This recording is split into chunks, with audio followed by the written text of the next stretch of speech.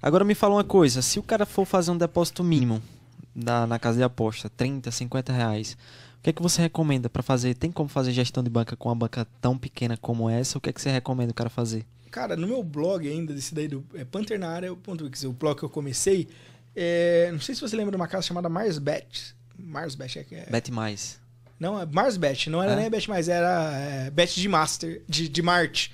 Tipo, traduzindo, Marsbet. Ela ainda existe. É turca, é a turca depois.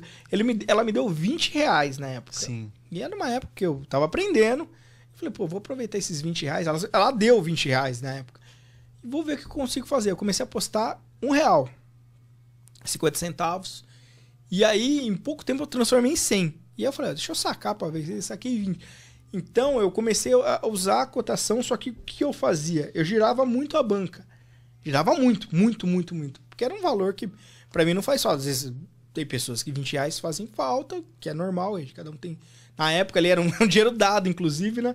E, e- porque se eu for, fosse colocar na época, eu tava, como eu te falei, eu tava de seguro-desemprego. Eu não ia tirar 20 reais do meu seguro pra colocar numa casa de aposta ali, né? Sim. Sou louco. E aí eu falei, não, vou usar aqui. Só que eu comecei a girar muito. E aí eu assisti o jogo ao vivo, pegava virada, pegava cotações altas. É, é que tem uma coisa que psicologicamente, é, quando a gente usa- cotação, é, valores muito baixos, a gente tende a ter resultados muito bons, né? Não sei se você já percebeu isso. Se você coloca um real, tem uma banca de 20, você transforma em 100 rapidamente. Se você tem uma banca de 500, você não vai transformar em 10 mil tão rápido assim. Porque ex- tem outros fatores, né? Entra é- o peso essa do banca- dinheiro, né? No, no é- emocional. Aí você pensa duas vezes ao Só- apostar. Só que assim, não mude tanto. Por exemplo, você tá com uma banca de 20 reais, você transforma em 100, você não vai mudar sua cotação de 1 real para 10 reais. Muda para 2. Vai aos poucos. Assim, aposta é, é aos poucos, cara. A gente tem muita. Hoje tem uma molecada muito boa. Mas não, não, tira dinheiro seu, né? De, de coisa. Você apostou 50, usa uma gestão mínima ali. Ah, a aposta mínima é um real. Vou usar um real. As casas estão diminuindo cada vez mais. Até a Bet, Betfair, que não tinha isso, hoje deixa apostar um dólar. Às vezes eu faço testes ali de, de trading para aprender alguma coisa ou outra com um dólar, né?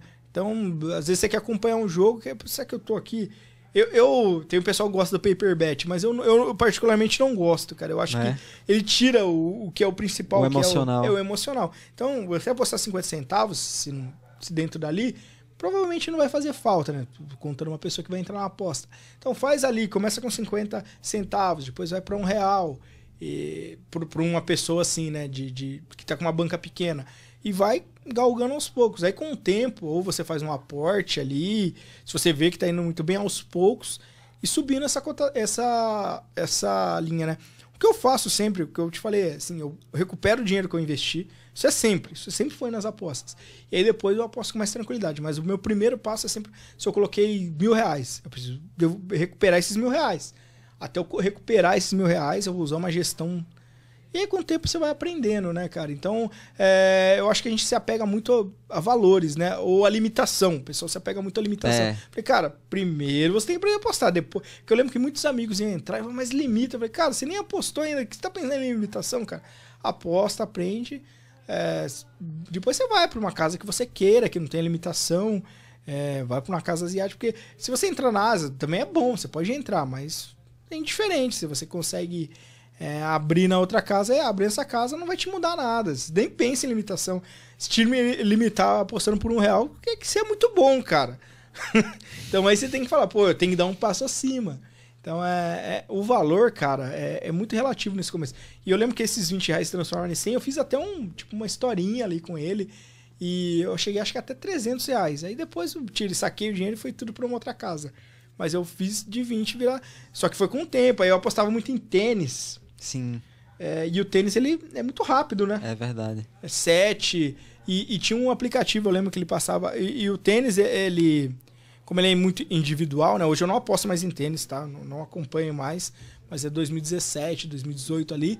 É, o favorito, ele tem muita chance. Só que, às vezes, o favorito tá com uma cotação muito esmagada. Aí tem. Dá pra você apostar em 7, dá pra você. Você em games, né? É, o cara tem 20 games. O vôlei também tem isso também, dos, dos sets e da- dos pontos, né? Pô, tá ali. Mas essa diferença é difícil o cara quebrar. Isso aqui, ó, tá pro, sei lá, vai o, número 1 do ranking contra o número 100. Só que você vê que aquele número 100 joga bem, hein? Só que ele vai perder. Só que a, a cotação daquilo tá para ele perder por um, sei lá, sei lá, vamos supor 10 games ali. E, pô, é impossível, o cara não vai tomar tanto pneu assim. Vai ser um jogo mais equilibrado. Então você olha ali, e o tênis era, era o que eu conseguia. E aí eu comecei a rodar muito a banca assim. O jogo de tênis tinha 20 num dia. E aí deu, acabou dando certo. Eu pegava algumas informações boas. É que é, esse, esse sprint inicial, até quando o pessoal fala como que é a alavancagem, eles, eles funcionam até um certo tempo. Até um certo tempo. Depois é. ele não vai, porque você não vai conseguir. Se a alavancagem desse realmente dinheiro, todo mundo ia fazer só alavancagem, ninguém ia ficar apostando. Verdade, eu é, também acredito. Mas ela, ela dá, assim, para uma banca inicial, para uma banca pequena e um dinheiro que você não vai perder, vale a pena você fazer uma outra coisa. Só que a hora que você chegar num valor, começa a colocar é, planos. Fala assim, eu tô com 50, se eu chegar é, ou 30, estou com 30, se eu chegar a 60, a minha conta, aí eu vou mudar minha minha é, minhas odds aqui, minha minha minha stake, né? E aí eu vou chegar a 100, vou mudar minha stake. Aí você vai mudando e vai cada vez que você ganha mais dinheiro, você se protege mais. Acho é, que é isso. Porque senão daqui a pouco vai entregar É, tudo, né? Porque quando você tem pouco, cara, você arrisca e começa a dar certo. Que é normal. Só que você vai, você vai querer arriscar com muito. Só que aí psicologicamente, vai, quando você perde mais, você vai te transformando, você vai sofrendo. Hoje eu sou muito tranquilo, assim, eu, eu aposto assim, eu, eu não deixo muito dinheiro em casa de aposta mais, né?